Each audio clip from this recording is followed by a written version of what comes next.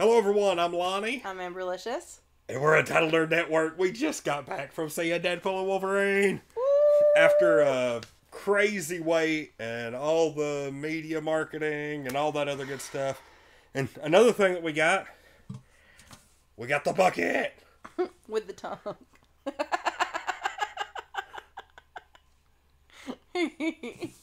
we got the popcorn bucket. It says created by Deadpool, don't it? Yeah, yeah, yeah, yeah, yeah, yeah. Designed by Deadpool. Designed by Deadpool. That's freaking awesome. It is. But anyway, cool. that's gonna go back here. Mhm. Um, I'll probably bring it up, show it one more time. But um, first off, I want to take the first couple of minutes to kind of review the movie without spoilers, just in case somebody happens upon the video. But we will do full spoilers here in like just a couple of minutes. So, um, just vague thoughts without giving away any plot points. No, it was really good. Fantastic. Yeah. Yeah. I, it- yeah. The, the, the, there was no doubt in my mind. Yeah, that yeah. Deadpool and Wolverine was going to be a great movie, and it was great. It really was. Uh-huh. It it measured up. Uh, I'm going to go see it again. We went to the 4:30 show, and I'm going to see it again at 9:05. And uh, yeah, yeah, just a wonderful movie. It Um, was really, really good. it had Um, an absolute crap ton of cameos that I won't give away just yet. Uh, I actually had heard somebody say that this first five minutes of the movie was the best five minutes of any Marvel movie. I don't know if I would quite go that far, but it was easily one of the most entertaining. Yeah, it's definitely one of um, the most entertaining. They they did really good with the with the first five minutes. I enjoyed the story. The story went good. The characters went good. There were. I'm gonna have to get the cat down off behind the. There we go. Okay. God, you just can't have a flawless video, can we? No, especially with a gremlin. Yep. But anyway, But um, yeah, I absolutely love the film. Uh, and I can't really say anything else about it without spoilers. so spoilers, so, spoilers, spoiler spoilers. warning. We're gonna start talking spoilers in five, four, three, two, one. Spoiler time. First five minutes of the movie was Deadpool going to Logan's grave from the end of Logan, getting his corpse out of the ground, and uh, beating a bunch of TVA soldiers to death With his bones. with his metal skeleton. All while Bye Bye Bye played in the background. Which, of course, made my day. that was a fantastic opening. But the whole deal is, uh, whenever Logan died in the Logan universe, that caused a ripple effect. He was like an anchor that kept that universe from just falling apart. And when he died, the universe started falling apart, and there goes Zero again. Maybe he'll be still. Yeah, maybe he will. We gave him treats before the video just because we thought he would stay off. But anyway, Anyway, Um, yeah.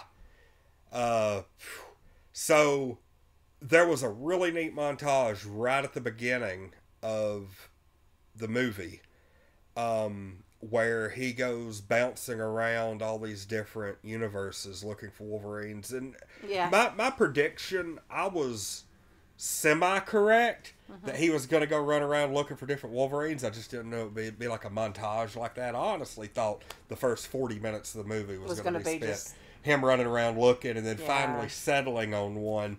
But that happened really quick and they had all kinds of Wolverines. I really don't want to give everything away because you need to go see this movie, and this uh, review is going to be out probably before anybody actually sees the film.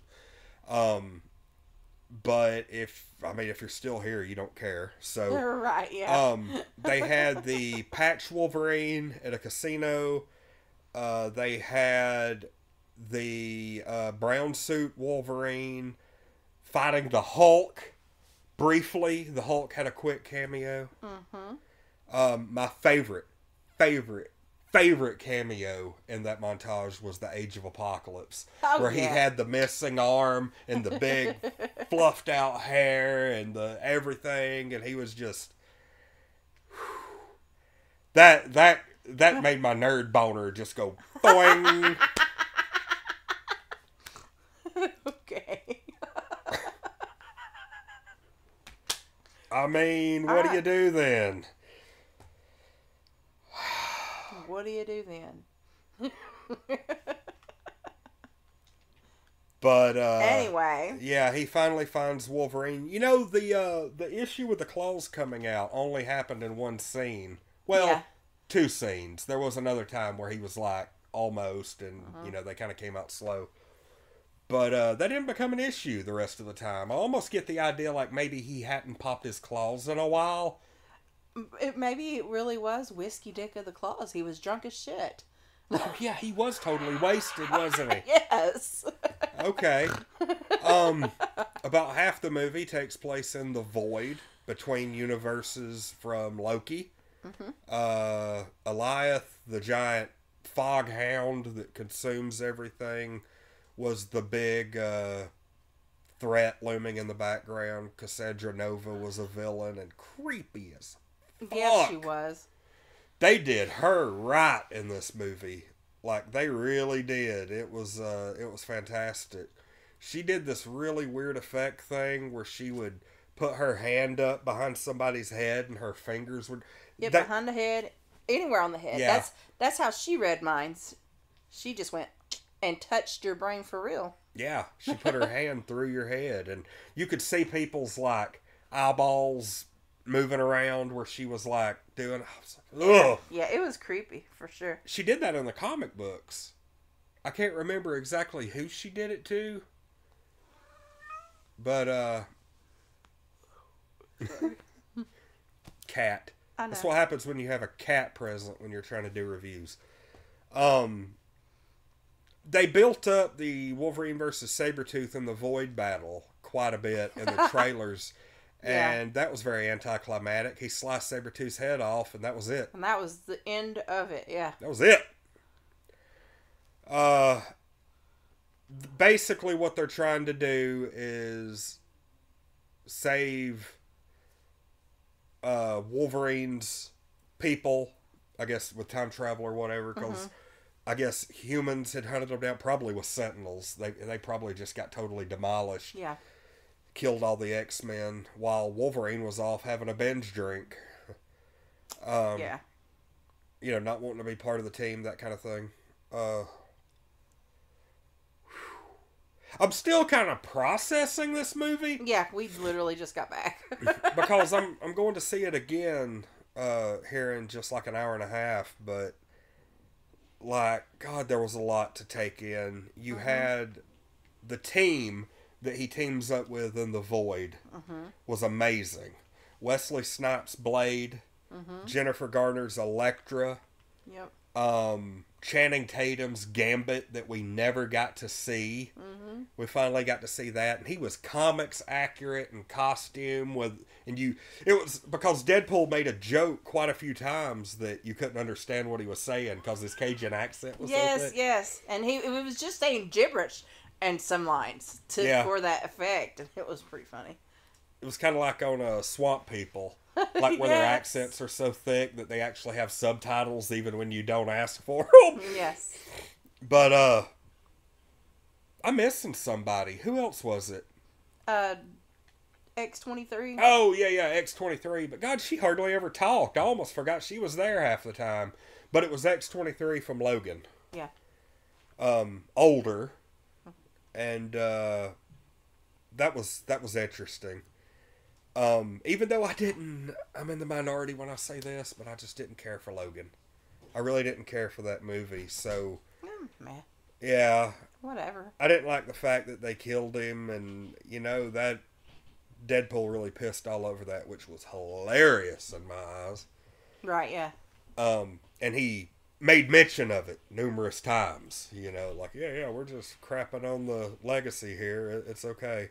Right. Um, they did a really good job of just letting Fox go.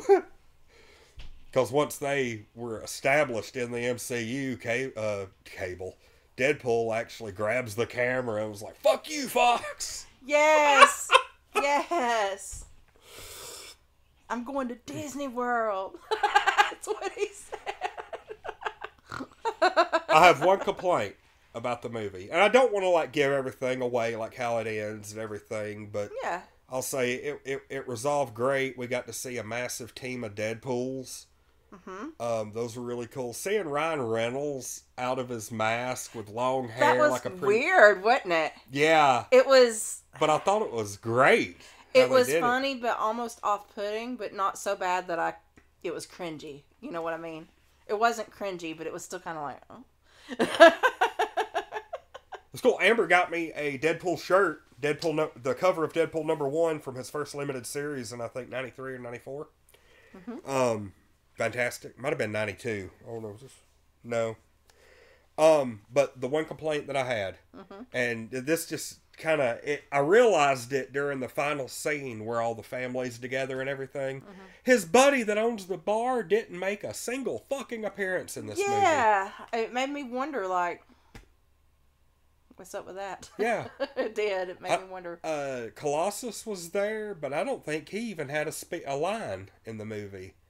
Did he say anything? I don't all? think so. I don't. Not Like that he I was can remember. like there were a couple of characters that just got kind of shoehorned in. yeah. Um, they had the X three Juggernaut there, Mhm. but it wasn't Vinnie Jones. I don't think, and he didn't talk in the you know I'm the Juggernaut, bitch. You know Right, that yeah. that that that wasn't uh, him. I don't believe so. Uh, yeah, there, there were a couple of little things that you're like, huh, I wonder why that didn't happen. But the, the the one that just jumped out at me was his, and I don't even remember his name, but my favorite scene in Deadpool 2 was with him where Cable was getting ready to torture him. Mm-hmm. And he was like, Look, you don't even have to make it step number two. I'll, I'll just give you everything. Yes, He's like, I can't yes. handle pain. I've stubbed my toe. I'm done And for he's like, he tells him later when he and I told him everything. Yeah, yeah. So I'm just like, but yeah, they didn't have him, and you know, he was in the trailer of the first movie and had a pretty huge part in the second one, and then Uh, who knows? I hate when movies do that. yeah. But it wasn't enough to kill the movie for me. The movie Right, was the movie literally. was still wonderfully fantastic. I want to hear your thoughts. you want to hear my thoughts about Yes. it? Um, my f- uh, the my favorite part was probably when they met up with Johnny. And you don't know it's Johnny.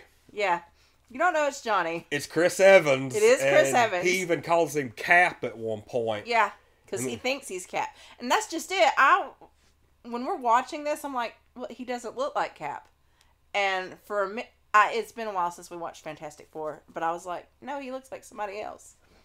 And then he was like, "Flame on!" I was like, "Oh yeah." He was expecting to say Avengers Assemble, and instead he said Flame On and just burst into flames and took off. But they Yeah. killed his ass deader than shit. Yes, they did. this is like he is not coming back No, for another movie. she ripped his skin off, and then he just fell apart into a big pile of guts. That was wild. yeah, it was That pretty crazy looking. Because he was alive for like two seconds She after that like happened. this, and he was like, She could do all kinds of crap. we got to see Pyro from X2 and X3. "Mm-hmm, Um, Toad was there from the first X Men movie. mm-hmm." Sabretooth lasted all of about 30 seconds. right. And they thought Uh, they were the shit when they killed him, and then he, he wasn't even like the major one. Um, but man, it's just such a good movie. it was a really good story. I really enjoyed it. The soundtrack was killer. Probably the best soundtrack they've had since. It was pretty solid, you know. Probably probably the best soundtrack of the three movies. I'd agree. Absolutely agree. Um but yeah, like your thoughts on Hugh Jackman coming back as Wolverine? Hugh Jackman can choke me on any holy day. Like Jesus. that's He's still put together. Yeah. for what is he like fifty five Yeah, now or I something? think so. Yeah. That man is ripped. I don't know if that was CGI or if no, it wasn't. it wasn't. Was there? Did it? Did, this is interesting though because here's he does put the Wolverine mask on towards the end of the movie. It's like the Which big is payoff, really cool, and yeah. it looks amazing. Yeah. Um, when there is a scene right at the end of the movie after everything's resolved, and they come walking out with their mask on, but he uh, Wolverine doesn't have a shirt on, but he has the mask. Yeah. He almost looks shiny and hairless when the mask is on, but then when it shows him without his mask off, he's regular hairy Hugh Jackman again. I don't know if I was just seeing things, but it looked like masked Wolverine was a little bulkier and had like a waxed hairless physique. And then when he took his mask off, he had hair on his body. It was still ripped like crazy, but maybe like 10% less ripped. Like they almost got a bodybuilder to play him with the, the mask, mask on. on. Like just in that one scene. Because he wasn't that big Right. Yeah. with the mask on in full costume. I don't know what the deal with that was. I don't know either. So, but something was off there for me. But it again, it didn't take away from the movie. I almost thought it was a gag, It might like have been. like they gave him a slicked, oiled physique with no body hair, I what was with the mask with the on, mask on. just as a joke. I think that's. I think that's what it was. Okay. But uh, I, I don't want to give like everything away. Obviously, the good guys win, um, and Wolver. Here's the thing, though. Are they in the MCU now? Because it looked like they saved Deadpool's Fox universe. They saved whatever universe he was in. He he was in the Fox universe, the same universe the whole time because it had all of his friends and family. Right. Yeah. all that, but Wolverine stays there with him. Mm-hmm. I guess is like the new anchor. I guess. Um. Yeah. So technically, that was an MCU film that takes place in the Fox universe, and still leaves everything open for Secret Wars Okay. eh, or whatever Avengers 5 and 6 are going to be called now. But I'm getting the vibe like they're still in their own separate universe under the MCU banner. Got you. And okay. they've got to be there because eventually, when all this multiverse stuff comes up to a head, all the universes are going to be destroyed, and pieces of them are going to be a new sacred timeline is Yep. going to come together, and it's going to have a little bit here, a couple of characters from the Fox, you know, you know, like Yeah. everything's going to come together, and I'm sure there'll be a healthy mix of old and new actors, and you know, it. it I think it really just depends, but uh, that's going to be major, and it's still set up for that. So, oh, such a good movie! I can't wait to go see it again. Right. Like really, because here's the thing: I'm going to see that. We went and saw it just now. I'm going to see it again at nine. I know for a fact I'm going to see it again Monday night. That's three times. There's a strong possibility I might go see it again Saturday afternoon. So, it. I think it Saturday's really just going to depend on if I'm tired of it by then or not. And I don't think I will be. I'm. I'm loving this movie. It was. It was really, really good. It was not disappointing at all. So, what do you give the movie? I'm gonna give it. I'm gonna give it a ten. I'm gonna give it a ten. Am I still doing those 11s? I don't think it was eleven worthy. Like it was a good movie. Do not get me wrong, but there wasn't anything that makes it eleven worthy in my eyes. Okay. I think realistically, I'll probably give it a 10. I want to give it an 11, but I think with time, like most comedy, um, it won't be a movie that I could just watch over and over and over and over and over and over and over. Yeah. Because eventually the novelty of all this is going to wear off. Like, this is a huge thing right now. Like, right now, this is a huge thing. And I'm telling you, go see the movie. But once Avengers 5 and 6 comes out and all the characters get together and all it's almost like yeah, Civil War was amazing. Mhm. But it got knocked down a peg once Infinity War and Endgame came out. I mean, out. that's true. It it did, but it's still a good movie. Yeah, it's still a great Yeah. movie, but it's like right now Deadpool's the best of the best. It just occurred to me we did not talk about how they beat all those Deadpools that were fighting them. Do you remember? They No, they didn't beat them. Actually, technically, yeah. Peter 'cause- showed up. Oh, yeah. Yes. Freaking Peter from the second movie, the member of X Force, was uh, just kind of in the background the entire movie. Well, while they were in that universe. Yeah, And uh, yeah, they basically killed like a hundred Deadpools, but they all regenerate except for one. I'm not going to give away who. yeah, And um, once they get through just chopping them up and beating the hell out of everybody, and they think everybody's dead, they all stand back up, and it Yeah. looks like it's about to be a total pain in the ass for everybody. And then Peter walks out with uh, a Deadpool suit on, and when he takes his mask off, everybody's like, "Oh my God, Peter, Peter!" Like all the Deadpools like hold Peter in just the highest regard, even though our Deadpool doesn't right, yeah. which is hilarious. But one of my favorite jokes was every Deadpool. oh no! no! Yep, that was zero. Oh, what a turd. Get down.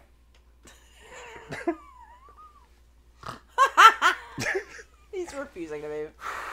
Refusing. Okay, well we made it almost to the end. Anyway, my favorite joke. Every Deadpool has a Peter.